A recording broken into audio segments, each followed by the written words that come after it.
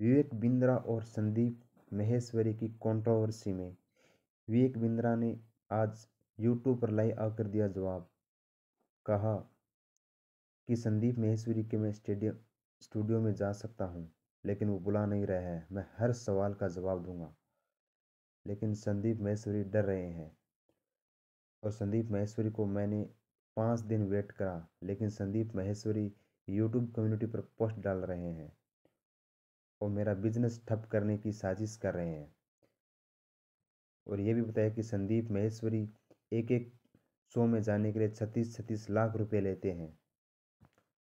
और उसने संदीप महेश्वरी को मैसेज, कुछ मैसेज और ईमेल वायरल करने को भी कहा है कि मैं बताता हूँ, संदीप महेश्वरी भी फ़ोटो के, एक फ़ोटो के पंद्रह पंद्रह बीस बीस हज़ार पैसे लेते हैं संदीप महेश्वरी।